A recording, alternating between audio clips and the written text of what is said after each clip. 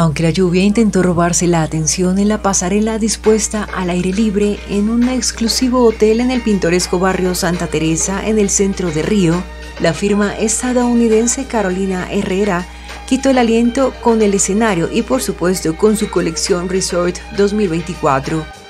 En su primer desfile fuera de Nueva York, el director creativo de la firma, Wes Gordon, se inspiró en la energía y la alegría y el color del trópico carioca que se reflejaron en prendas llenas de vida como gigantescos blusones ajustados en faldas tipo pareo, que fueron el punto de partida de la colección. Los lunares o pepas blancas sobresalieron en camisas inspiradas en la moda masculina y en vestidos de todos los largos para gala o cóctel, visiblemente cómodos que rotaron en verde, rojo y negro, complementados con sombreros de inmensas alas.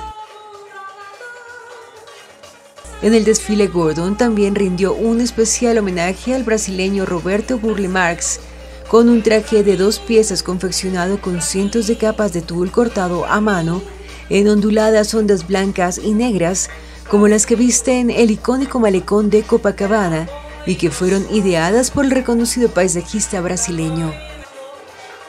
Río fue escogida para ser la primera ciudad fuera de Nueva York en recibir un desfile de la firma por la energía, el optimismo y la alegría de vivir que de ella emanan, pero también es una apuesta por expandir la marca en Latinoamérica.